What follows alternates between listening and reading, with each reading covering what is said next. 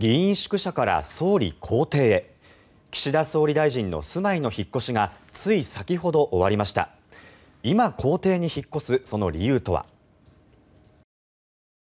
総理の荷物を載せた車が公邸に入っていきます。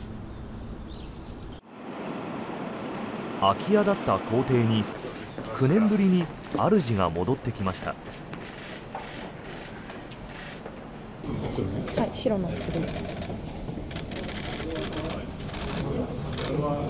最後の住人となったのは民主党政権の野田総理です。公邸にずっと泊まっていたら立派な総理大臣なんですか？私は違うと思いますけどね。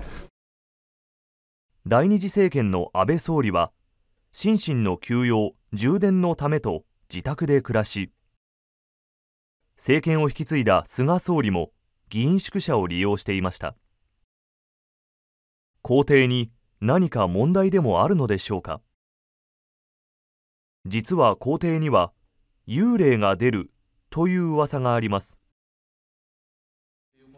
幽霊が出るとの噂は事実かという質問に。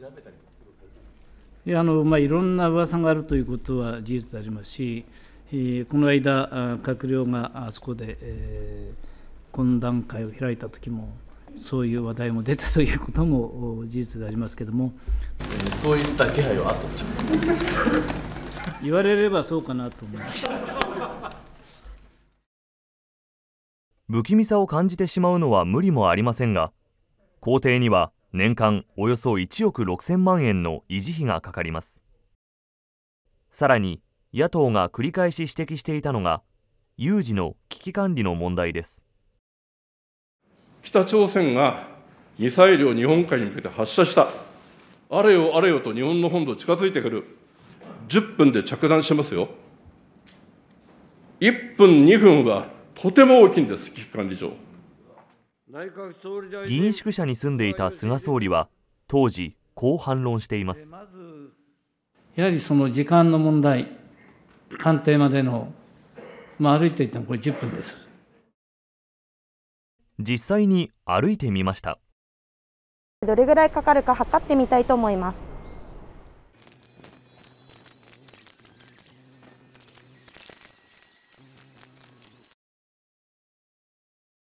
手元のストップウォッチでは6分44秒。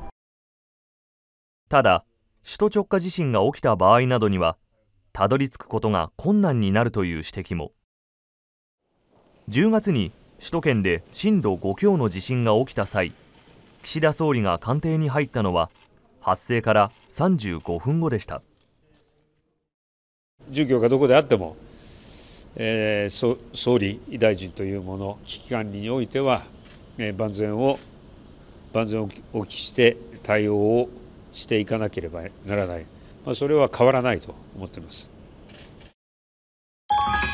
J ちゃん10月から新たに生まれ変わるスーパー J チャンネル。私たちがお伝えします。